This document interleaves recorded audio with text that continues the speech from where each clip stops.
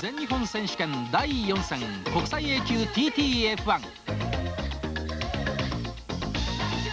今シーズン第4戦目にしてこの F1 は初のレースとなった。シリーズも6戦のみとなっているが5月14日15日のスゴ TT フォーミュラー世界選手権の貴重な前哨戦としてピットも盛り上がっているようだ。各チームともワークスコンストラクターズに限らずニューマシンで参戦し意気込みを示している。果たして3年連続シリーズチャンピオンとなっている吉村が今年もトップの座をつかむか。その吉村に待ったをかける男となるか。ポールポジションはゼッケン7三浦。予選2番手はゼッケン2宮崎。ワークス仕様 RVF でエントリー。予選3番手は昨年転倒で1年涙を飲んだ相和。予選4番手は 2&4 の骨折も癒えたゼッケン3町井。予選5番手はゼッケン13川崎のベテラン多田。そして6番手にはゼッケン1ディフェンディングチャンピオンの大島。予選7番手はゼッケン27ヤマハのベテラン上野。予選8番手はゼッケン56森脇のピーター・ゴッダード。そして15周後のチェッカーを目指してスタート。ホンダヤマハ鈴木川崎と4メーカー参戦で始まった TTEF1 まず川崎コンビのゼッケン13多田とゼッケン21相馬が絶妙のスタートで1位2位。ゼッケン7三浦ゼッケン56ゴッダードゼッケン2宮崎がその後に続く。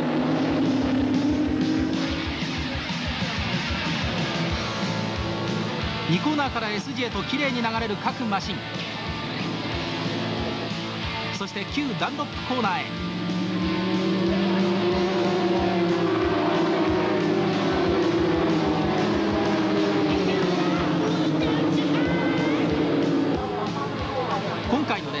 全車4ストロークマシンで2ストローク 500cc のエントリーはない。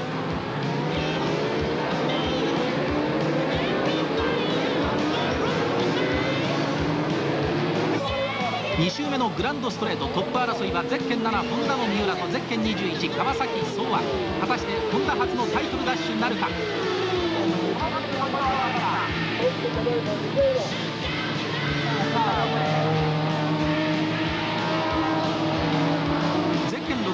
吉村の中村。序盤2コーナーで転倒リタイア。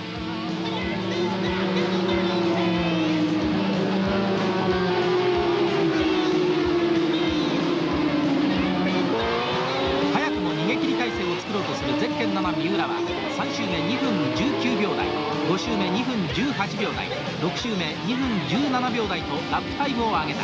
しかし2位以下も執拗に食い下がる。ゼッケン55今年 A 級に上がった種岡が新人とは思えない走りを見せた。レ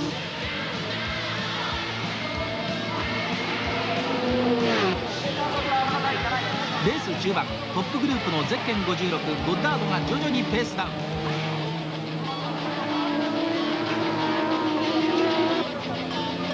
トップの三浦と2位の相馬のテールトゥーノーズ3位以下もドッグファイトを展開。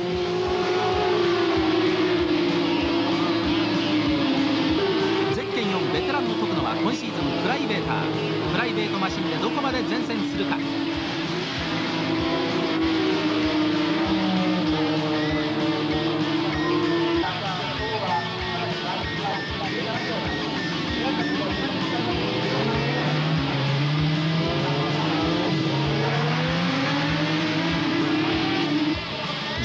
目に入ってトップはゼッケン7三浦。2位にゼッケン21相馬3位にゼッケン3町4位にゼッケン2宮崎5位にゼッケン1大島と続く。ラスト4ラップの戦いだ。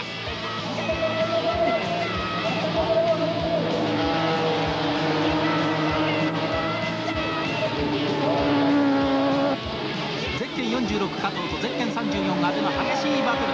しかし阿部がハイサイドを起こし転倒をリタイア。初戦をノーポイントで終わった。迎えたファイナルラップ15周目上位5台の激しいバトルが最後まで続く。そしてここに来て大逆転。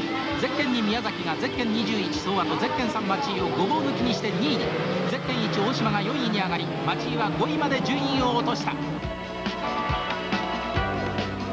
そしてチェッカー。トップの順位こそ変わらなかったが4位までが1秒以内という激しい好バトルを展開してくれた。カメラに向かってガッツポーズを見せた三浦と2位の宮崎にインタビュー。見事に逃げ切りましたね。そうですね。もう後ろがどうなってるか全然分かんなくて。ただプラス表示がなかったんでもう団子になってるなっていうのは分かってたんですけど。だからもう後ろを振り向かずに走りました。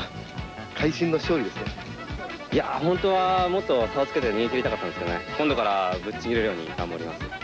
今日はもう表彰台にこやかに2位という。えー、まああのスポンサーも新しくついてもらってね2年目ということでで6戦と少ないから一戦一戦大事にいきたいし。今日は大変面白いレースでしたね。今日はもう楽しかったですね。は楽しい時間もうすごく苦しいんですけどね。もうお客さんも喜んでくれたと思うしもう F1 どんどん楽しくしていきますんで応援してください、えー、2おめでとうございます。ありがとうございます。ワンツーを飾ったホンダ勢。念願のシリーズタイトル奪取なるか。それとも吉村が巻き返すか。第2戦が楽しみだ